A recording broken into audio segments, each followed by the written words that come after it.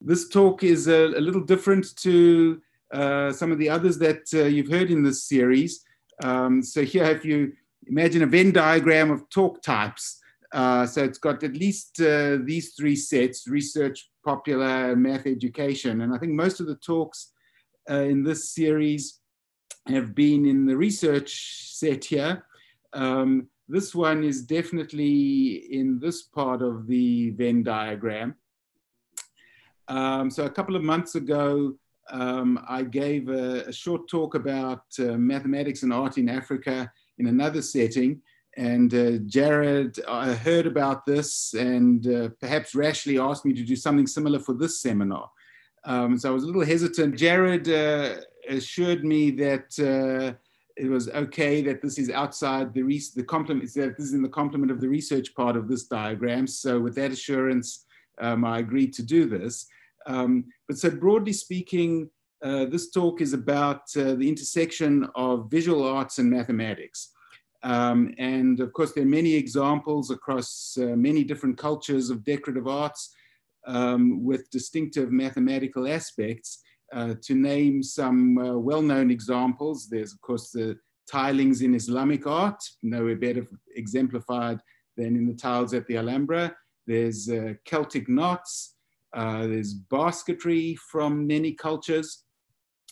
Um, and I think uh, these examples are striking uh, for at least two reasons.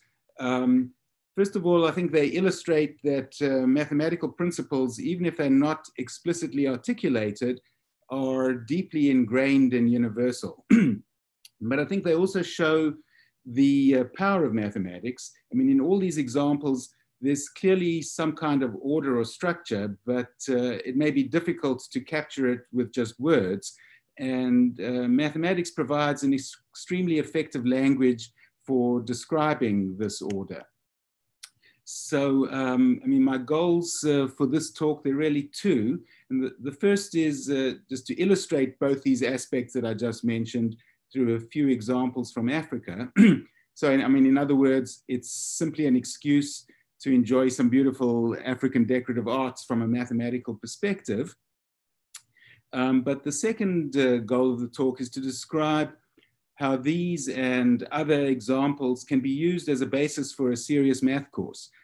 Um, and uh, I mean, this part is more than just hypothetical. It, it, really grew out of a proposal for a course that I'm planning to teach um, in the master's program at the African Institute of Mathematical Sciences in South Africa, and I'll say a little bit more about that later.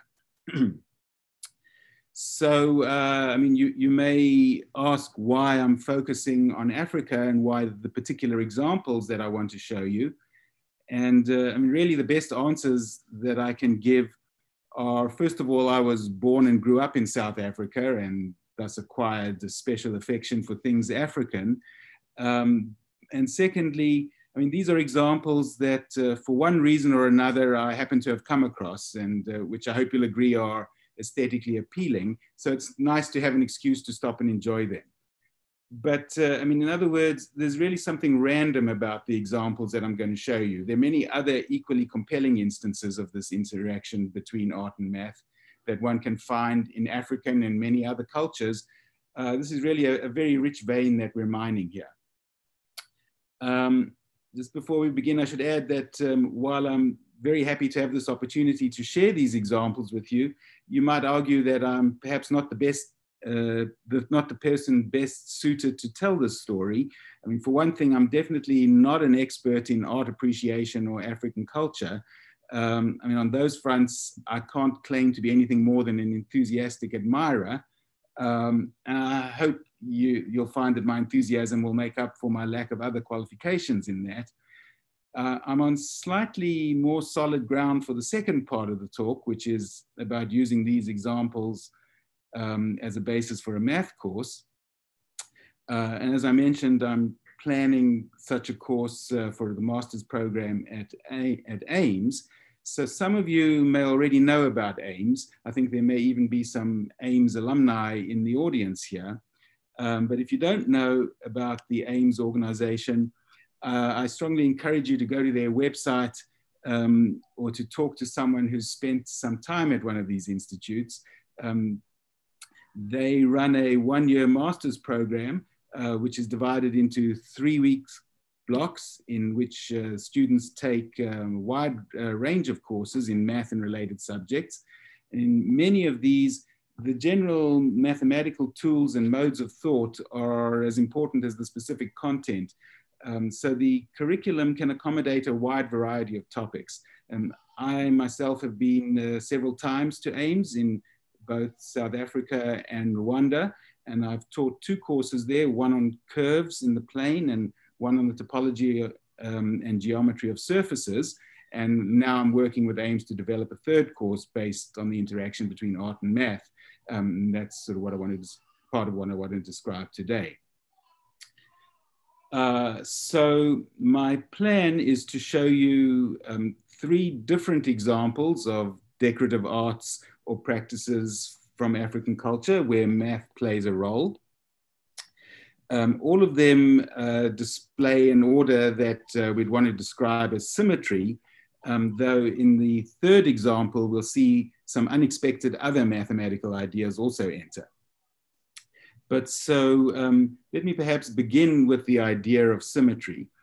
So, uh, I mean, among the first questions you might ask are, well, what exactly is it? And what is it about symmetry that we find appealing?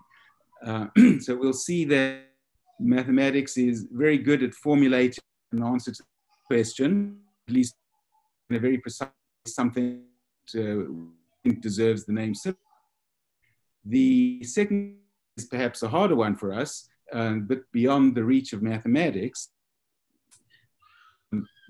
One of the mathematicians uh, who showed how to answer the first question uh, was Hermann Weyl, and he had this to say about the second aspect. Symmetry, as wide or as narrow as you may define its meaning, is one idea by which man through the ages has tried to comprehend and create order, beauty, and perfection. So here's uh, one striking example of the impact that symmetry has on us. Uh, so here it's described by William Blake as uh, the fearful symmetry of a tiger. Uh, so I hope the symmetry in my examples is somewhat less fearsome than this, but I think no less profound. So our first example, uh, Ndebele wall decorations, comes from South Africa. So the, uh, the population in South Africa is, uh, is, a mix of many different groups. And this is illustrated by the fact that the country has uh, 11 official languages, including nine African languages. Um, so one of these is Ndebele, and this is spoken as a first language today by about one and a half million people. Um, today, I want to focus on one distinctive aspect of Ndebele culture, namely the tradition of wall decorations. Uh, are traditionally and are entirely freehand with very rudimentary brushes, often just birds.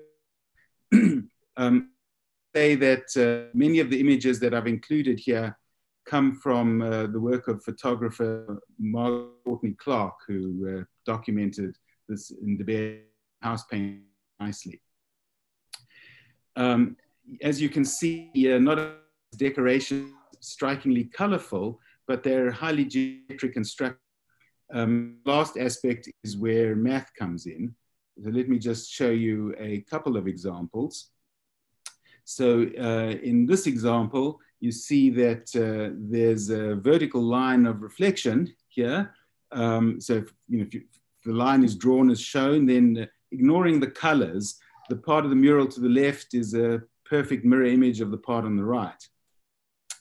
Um, in this uh, second example, there's even more going on. Uh, for example, uh, in each of the panels on this wall, you can see there are two lines of reflection, one vertical and one horizontal. There's also um, a symmetry under a 180 degree rotation. If you rotate the whole, each panel through 180 degrees, around uh, its center point, the, the pattern returns to itself.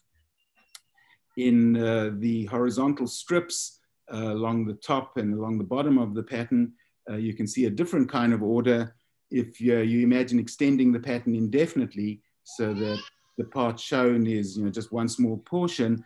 Now, if you take this infinite frieze pattern and shift everything by the distance between the diamonds uh, I've indicated with the arrow over there, you'll find, uh, again, ignoring the colors, that the pattern sort of returns to itself. And we'll say more about this uh, in the next example. But so I think you know it's, it's clear that the Ndebele mural artists have a sophisticated understanding of certain principles of order that we would colloquially call symmetry. And they're very adept at using it to create, in uh, Hermann Weyl's words, order, beauty, and perfection. Um, but so, how do we describe these features more precisely? So, uh, one way of formulating really what's the, what is the fundamental insight um, is nicely expressed here by uh, physicist Richard Feynman, uh, who said that um, a thing is symmetrical if one can subject it to a certain operation and it appears exactly the same after the operation. Uh, so in the context of the Ndebele murals, um, we can translate this into precise mathematics um, as follows. So everything takes place um, on uh, a flat surface, the wall. So mathematically, this is uh, the plane R2. Um, the decorations um, or the painting on the wall, this is the thing in Feynman's description, is makes up some subset of the plane. The operations we described, um, the reflections in, in a mirror or rotations about a line or a shift, are physical rearrangements. And what's special about these is that uh, they don't distort shapes or geometric relationships. Um, so the mathematical term for this, for such an operation is an isometry, and I'll say more about this in a minute. Um, so for each operation, for each, op uh, each isometry, uh, we can now say precisely what it means for the painting to have that symmetry defined by such an isometry. So it means that um, when S is applied to the whole wall, uh, it, uh, the operation leaves the painting invariant. So uh, this mathematical description is obviously full of jumping off points for further investigation, so material for a serious math course. So let me um, unpack that a little bit. Uh, so uh, before we can define uh, geometry preserving operations, we need to make sense of geometry. Um, and here we obviously mean familiar Euclidean geometry, which can be introduced in two ways, uh, the synthetic or axiomatic approach, including, of course, the notorious fifth postulate, or you can take a more analytic uh, approach based on a coordinatized plane with a Euclidean metric, um, and defined in terms of the differential geometry of curves. Um, so uh, there are several directions that you could go in a course from here, uh, including introducing non-Euclidean geometries based on alternatives to the parallel postulate. Uh, so that means uh, hyperbolic or spherical geometry. Uh, taking the analytic approach, uh, you can go into a deeper investigation of differential geometry of curves and surfaces, introduce metrics and geodesics and curvature, um, or the differential geometry of manifolds. Um, going back to uh, Euclidean geometry, there's a lot you can say about operations which preserve all the features of Euclidean geometry, in other words, about isometries. So first working entirely within synthetic geometry, you can easily identify three basic isometries. There's a translation, um, there's a reflection across a line, um, there's a rotation around a fixed point, um, and all of these appear in our Ndebele example. So uh, less obviously, but uh, perhaps somewhat amazingly, um, you can show that um, any isometry is equivalent to a composition of one, two, or at most three reflections. And furthermore, that apart from the three that we've already identified, there's only one other sort that's called a glide reflection, which is a combination of a translation and a reflection about a horizontal line along the direction of the translation. Uh, taking a more analytic approach, you can introduce a whole host of important ideas in a course here. Um, first of all, since isometries can be composed to form new isometries, the set of all of them forms a group um, I've called yeah, isometries of R2. It's not just a group, but uh, it's a Lie group. so this, of course, opens uh, the door to an entire course, uh, but confining ourselves for now uh, to just the particular Lie group that uh, we were, we're talking about, the isometry group of the plane, this already gives us plenty to investigate. Um, for instance, uh, you can see that uh, the translations form a normal subgroup and that up to a translation, all isometries are orthogonal linear transformations. Uh, and with just a little bit more work, you can introduce the idea of a semi-direct product and actually fully describe the isometry group um, for Euclidean geometry as this semi-direct product. So, I mean, this in itself is perhaps a, a, a nice high point for a course, but um, it's also now an opportunity to uh, introduce an idea which drastically changes our view of geometry in a, in a very fruitful way.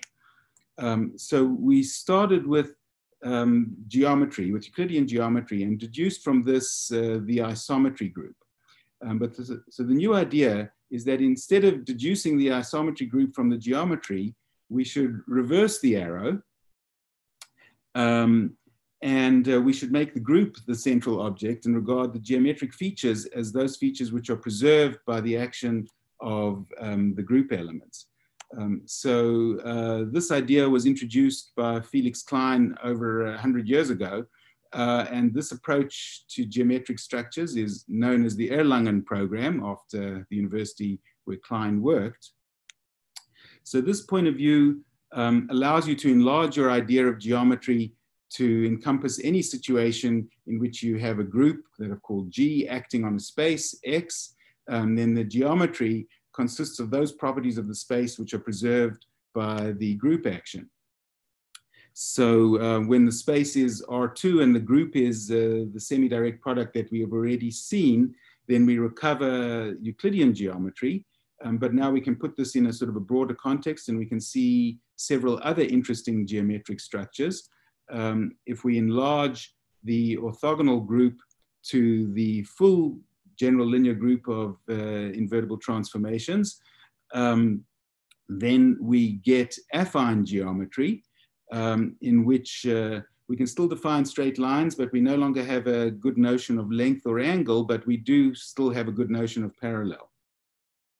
Um, but so it turns out uh, that you can uh, think of this group as a subgroup of PGL3R, uh, which acts on projective space. And uh, the Kleinian geometry defined in this setting is projective geometry. Uh, so all of these, of course, uh, you know, are very rich material for a course. Uh, there's one more that uh, can't resist mentioning. Uh, if the group is um, PSL2R um, and you look at its action on the upper half plane, then the geometry that is geometric structure that's preserved by this action is hyperbolic geometry, the non-Euclidean hyperbolic geometry.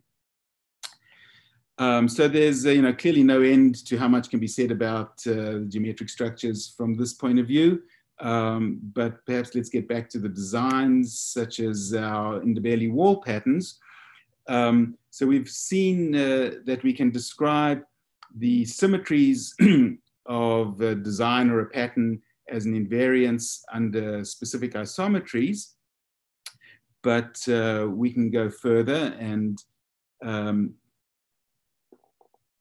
uh, take all the symmetries together and define a subgroup.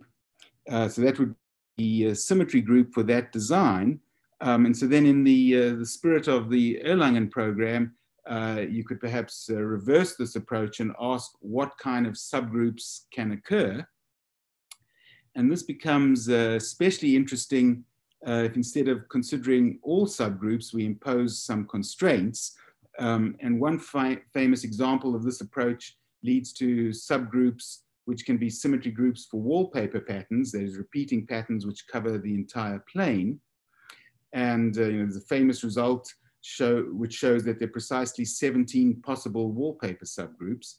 Um, so this, again, this result could certainly be covered in a course, uh, but there's a, a simpler situation uh, in which sort of many of these similar ideas can be seen and which ties in nicely with our examples. So the simplest uh, situation is illustrated by freeze patterns. So those are patterns confined to strips, um, such as uh, at the top and at the bottom of this Ndebele house. Um, so these patterns, uh, these designs um, repeat in just one direction rather than two like the wallpaper patterns. Uh, so this kind of pattern is also um, a big part of our next example of uh, an African decorative art where we see the interplay between math and the art. So before we get to the math behind uh, these frieze patterns, let me introduce this next example. Um, so this is um, the patterns in um, basketry bags. So these bags come from a part of Mozambique um, where Tonga women have a strong tradition of basketry. Uh, so uh, see, Tonga is again a distinct language. It's a dialect of Tsonga or Xitsonga, I think it's called. The map shows the region where it's spoken and where the baskets can be found. Um, so before I say anything about this basketry, um, I should acknowledge um, how I learned of it. Um, and uh, this is from uh, the amazing work of ethnomathematician Paulus Gerdes. Um, so Professor Gerdes uh, was originally from Holland, but worked for many years in Mozambique and was really a pioneer in studying the interaction between mathematics and culture, especially African cultures. Uh, he was a prolific author uh, on this topic um, and over several decades amassed a, a vast collection of, of, woven mats, bags, hats, and other items, including the basketry that I want to describe. Um, so really everything I say and all the pictures um, are from his work. Um, so I want to concentrate on just one aspect of these baskets, namely these frieze or strip patterns that appear on them. Um, so to make it easy to see the patterns, uh, it's perhaps you know, useful to suppress uh, details of the material that's used in the baskets, uh, the individual strands of grass or reed or whatever they're made from, and to just show the patterns. Uh, so that's what uh, we've done here. We've abstracted away the pattern from the basket. Um, so Professor Gerdes uh, collected and cataloged over 400 different unique designs like the ones in these pictures. Here's just uh, a small sample of uh, the many patterns in his collection. Um, so just like in the uh, in the Ndebele murals, there's obviously a, a, high degree of symmetry in these patterns. Um, and we can describe the symmetry as before in terms of Euclidean isometries, which return the pattern to itself. Um, so let me just illustrate this uh, with a couple of examples. So here's one of the patterns, and you can see that if you rotate it around the X in the middle there, it returns to itself. Uh, it has another symmetry, a translation symmetry. If you slide along that arrow, the pattern returns to itself. Here's um, a slightly more complicated pattern that um, also has uh, this rotation symmetry and it has a translation. Um, but this one also has a couple other symmetries. Um, it's symmetric uh, about uh, a vertical line that I've shown there. So reflection in that line returns the pattern to itself. And it also has a glide reflection. If you slide along the hor horizontally along the line I've shown and then reflect, um, reflect about that line, the pattern uh, is returned to itself. Uh, so uh, you may wonder what other types of symmetry you can expect in these frieze patterns, or perhaps uh, you might ask the more ambitious question, can we classify possible of frieze patterns? Um, so, uh, or, uh, okay, so really frame these two questions. Um, or in the more mathematical language, uh, you would ask which isometries, which elements in the group of Euclidean isometries preserve a frieze pattern, uh, and what possible subgroups can they generate. Um, so it turns out um, that just like for wallpaper patterns, uh, mathematics can give us a complete answer, um, which uh, can not only be fairly easily described, but uh, there's a great opportunity to introduce uh, several useful group theoretic tools into a course. Um, so firstly, there are exactly five isometries which can be applied to a frieze. Um, there's the translation, glide reflection, rotation, a, a rotation through 180 degrees, um, a vertical reflection or a horizontal reflection. Um, all of these, all, all, frieze patterns have to have a translation um, by a, a, discrete amount, otherwise they wouldn't be frieze patterns. That's sort of the defining uh, characteristic really. Um, but uh, they may or may not have any of these others. So you can now uh, try to build all possible free subgroups. Um, so it's useful here to introduce the idea of an extension of groups um, and to describe uh, the isometry group as an extension of the orthogonal group by the group of translations. Um, so then a, a, frieze group will be an extension of a subgroup of the orthogonal group by a translation subgroup. Um, we already know that the translation part of the frieze subgroup has to basically be a copy of the integers. Um, and it's not too hard to see that uh, the quotient is a finite subgroup of the orthogonal group of order one, two, or four. Um, in this case, turns out that this is really enough to determine all the possibilities. Um, and uh, the upshot is uh, the amazing theorem that there are exactly seven possible free subgroups. That is seven types of patterns which remain unchanged under the various possible combinations of the allowed symmetries. Um, so, I mean, we don't know whether the Tonga weavers were aware of this fact as a theorem, but uh, you can see from the examples that I've shown here that they definitely had discovered all seven possibilities. Um, so uh, depending on how much time you have in your course or uh, in a talk, I think we do have time now, uh, it's instructive at this point to compare the frieze subgroup to the possible wallpaper groups. Um, and, uh, and so these can be viewed uh, as extensions of finite order subgroup of the orthogonal group, again by an infinite translation subgroup. But now the translations are in two directions for the wallpaper group. Uh, in fact, uh, so the translation part has to be a rank two lattice. And there are more possibilities for the, the, the uh, subgroup of the orthogonal group. Uh, but um, the list is still very restricted. Um, it turns out also that in this case, the interactions between the sub and the quotient group um, has a few more options than it did in the frieze subgroup case. Uh, and there are more low-tech ways to proceed at this point, but uh, this is a nice opportunity to introduce uh, some group cohomology theory. The, uh, the interaction between the lattice and the um, discrete subgroup P is, can be described as an extension class, which is an element of a second group cohomology. And so this is an opening to explore, you know, all sorts of interesting topics in that direction. Um, so there are, of course, uh, you know, wonderful illustrations um, of wallpaper subgroups. Um, but rather than go down um, that road, uh, in the last few minutes, I want to turn to a somewhat different example of the interaction between mathematics and culture. Um, and this example comes from the culture of the Chokwe people, one of the distinct language groups in Central Africa. Uh, and while they're known for a generally strong artistic tradition, the aspect that I want to talk about um, has to do with a Chokwe tradition of sand drawings.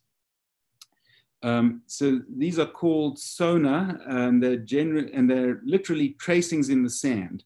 So here you see some examples shown either as um, photographs of actual sona or reproduced as um, line tracings. Um, so to make these sona drawings, uh, the drawer first lays out a grid of dots in the sand and then traces out with a finger a continuous path following a few basic rules. And the main rule is that you have to trace one continuous path without lifting your finger.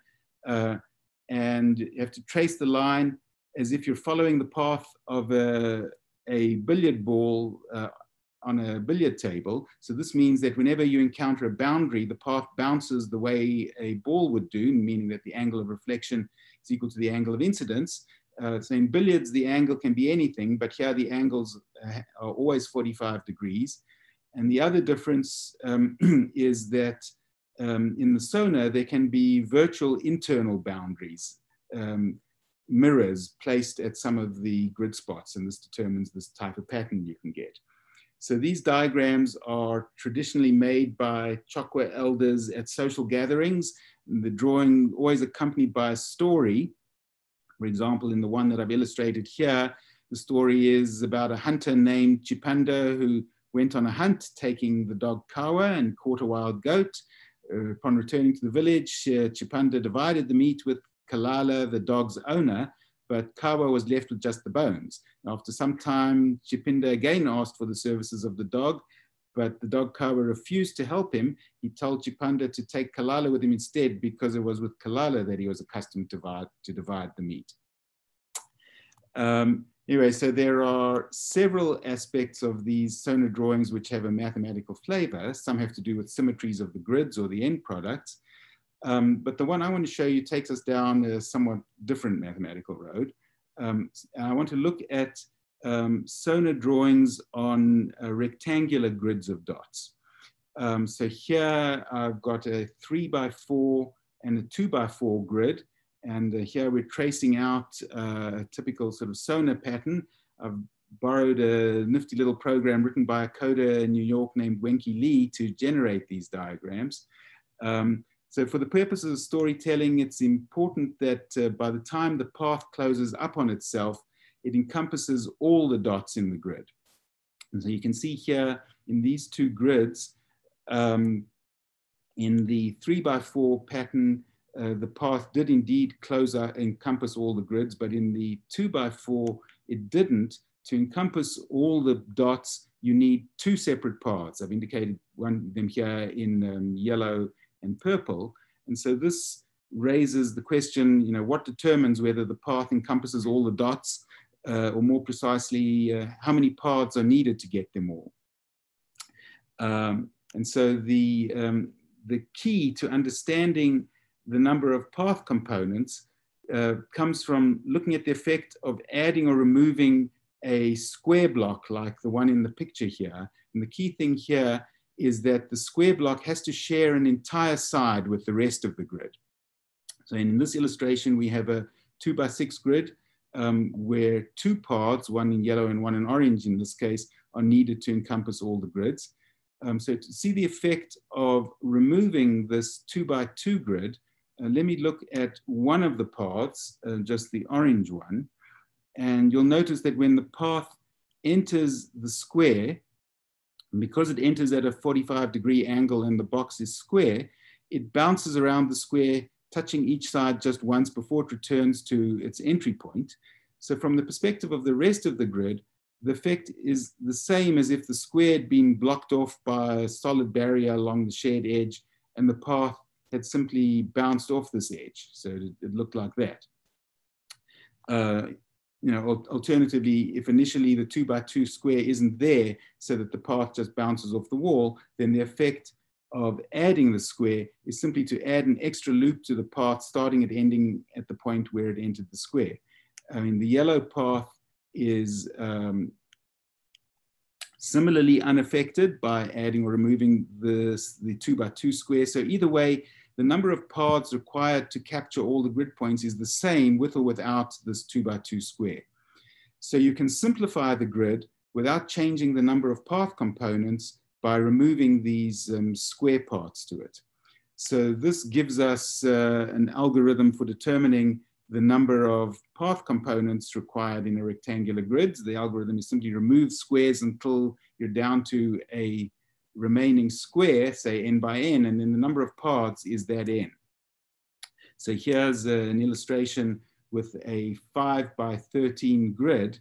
So you can see we can chop off two 5 by 5 squares, leaving a 3 by 5 grid, and we can chop off a 3 by 3 that leaves us with a three by two grid. Then we can chop off a two by two and we can chop off one, one by one. So in this case, we're down to a one by one uh, grid. So there's only one path needed for this. So I'm sure uh, many of you recognize this algorithm. So this is uh, exactly the Euclidean algorithm for finding the greatest common divisor of two integers. So this was first described over 2000 years ago in uh, Euclid's Elements book seven, proposition two. Um, so of course, this is an irresistible invitation to insert some number theory in a course. Uh, it also gives the answer, of course, to the question about the number of lines needed uh, in a sona diagram. If you have a grid with A rows and B columns, then the number of curves that you need is the greatest common divisor. So um, there are many other interesting examples, of course, where math and culture or math and decorative arts interact. Uh, and many aspects of this interaction are worth exploring, and you probably each have your favorites. But so just to end, uh, let me go back to the allure of order and symmetry in art. Um, as with uh, anything, even good things can be overdone. Uh, in this case, the danger of too much order or symmetry was well captured by uh, one art historian uh, and critic who issued this caution that uh, delight lies somewhere between boredom and confusion. And anyway, that's, uh, I hope, uh, the sweet spot where I've left you now. So thanks very much.